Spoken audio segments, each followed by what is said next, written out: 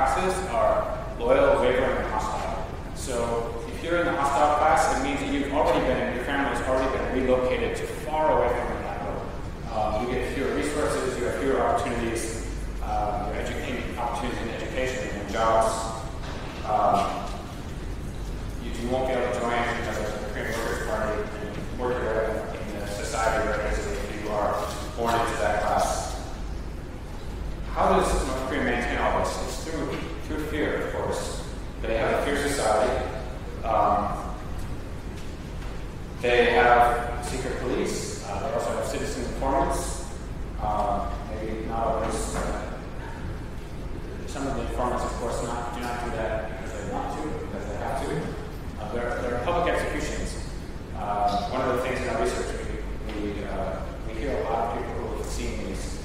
Um, they also, in order to instill fear, they, they bring, uh, the teachers will often bring the school children to public executions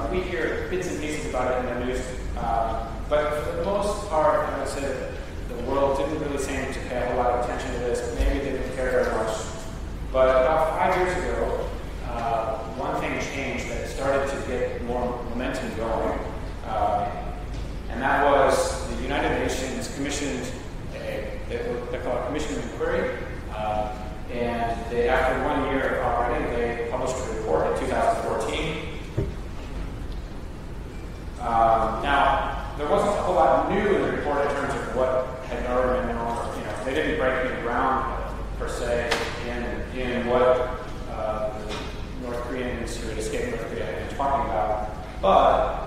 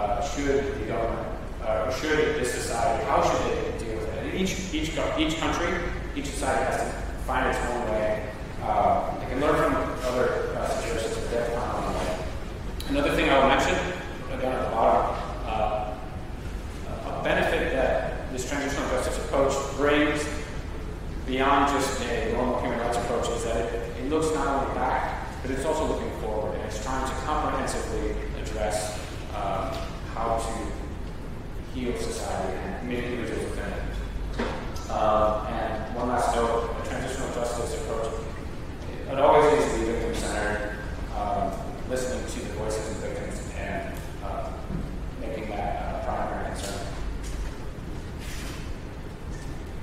So now,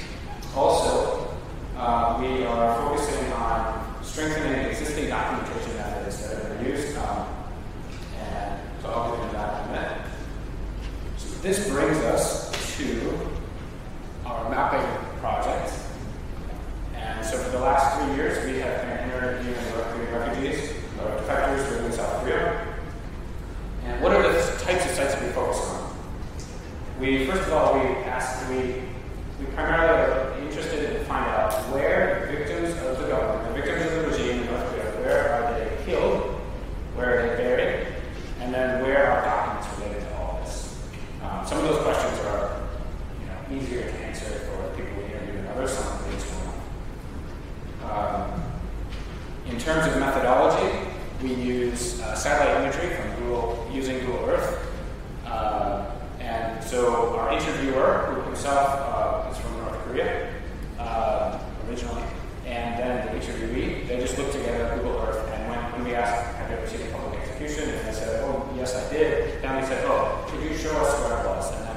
specific components that they use. Objectives of our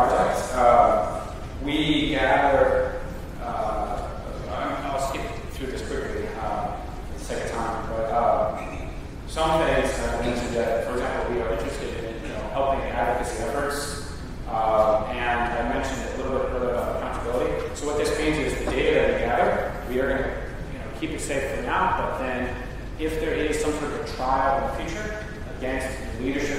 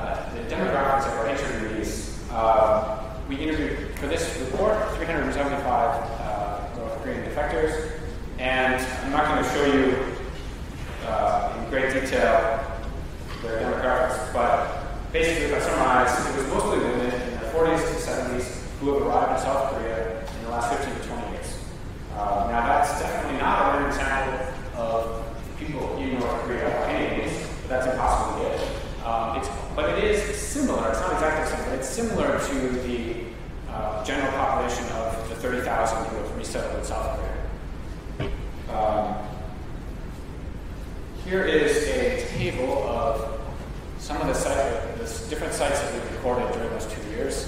Um, just a couple highlights of this would be attention to we found over 40 burial sites. I should say we had over 40 reports of burial sites um, and 333 reports of killing sites. And of those killing sites, almost all of those were public executions.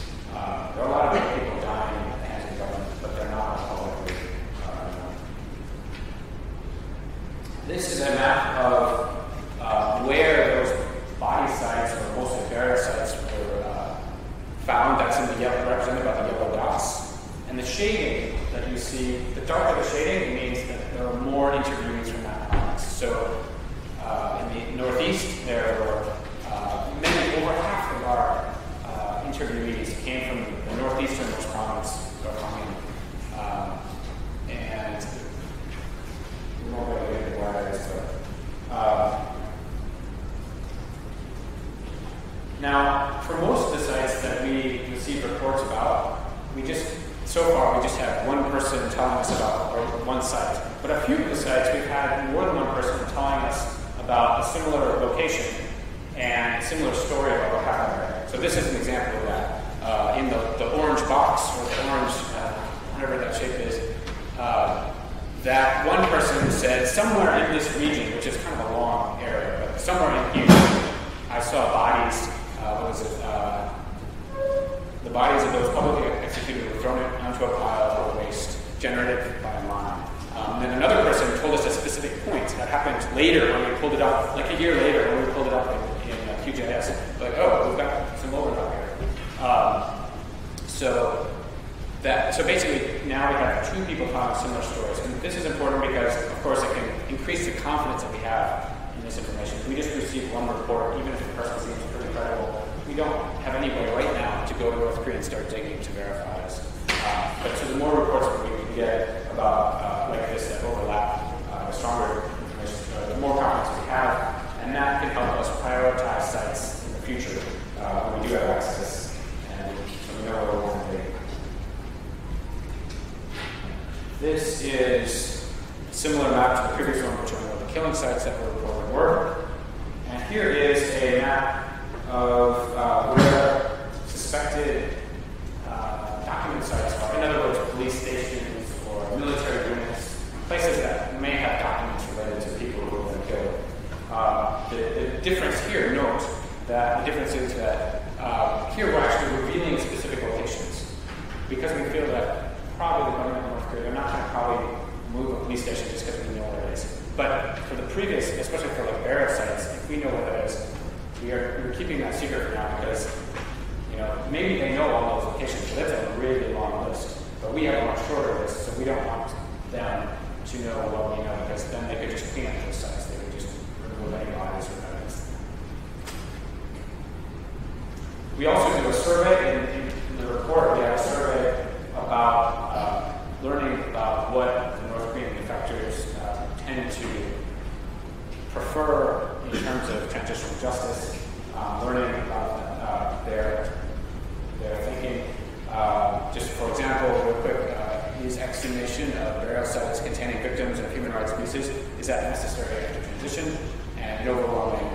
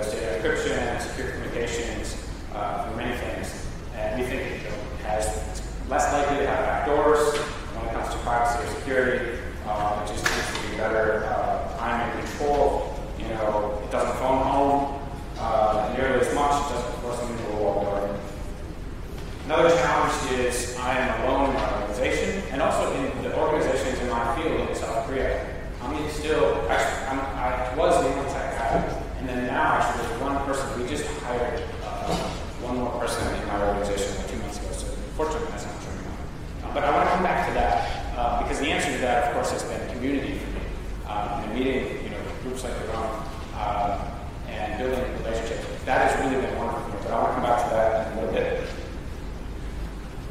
Now, let's talk a little bit about how we do mapping you know, specific software. Um, yeah, the first thing that we use is, is QGIS. Um, and now,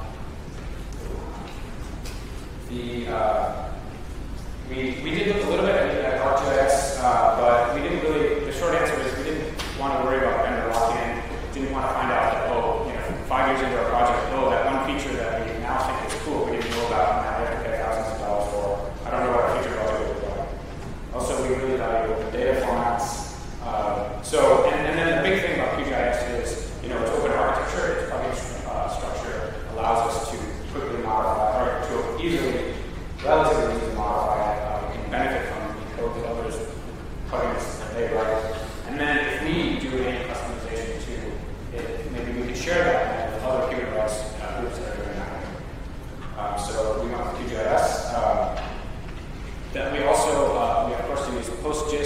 which is an extension that sits that goes into Postgres, uh, and it's wonderful. It, it gives us uh, lots of you know, it gives us the spatial data types and the extra functions unrelated. It's like I think it's up to like 200 functions now, uh, so I can do a lot of my work just in the database. And I want to I should mention quickly, but uh, do not want to forget leave out uh, OpenStreetMap. Since open data is important for us in our work, so we, we definitely use and of um, like a small product called Global Administrative Areas. In, in Korea, uh, there are a couple of challenges that we've uh, come across, a handful, that make it more difficult to adopt FOSS Uh, a couple of things, yeah, turning on three inputs, uh, and this affects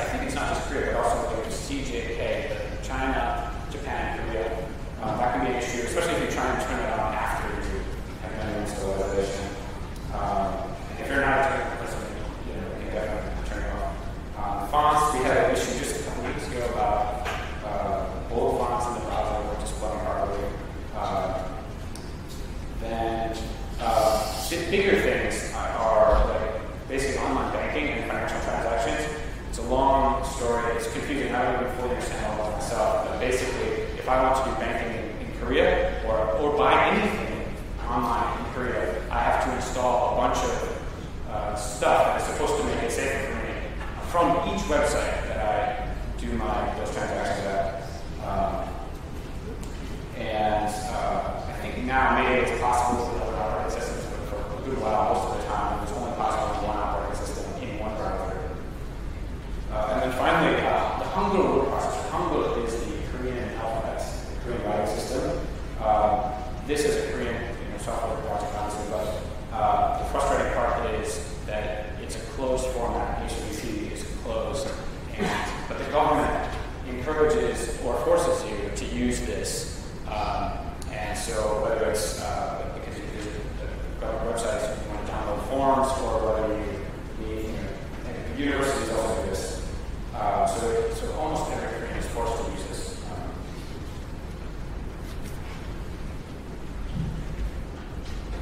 So this brings me to the last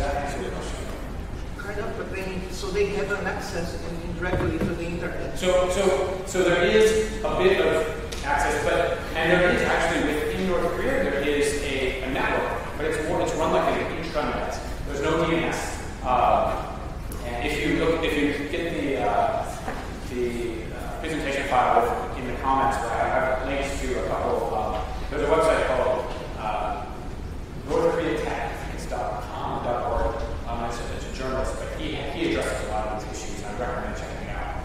Uh, but, but yeah, they, they do have, there is, a, technically, they do have some internet access, but it's not widely uh, used at all. Um, yeah. uh, the,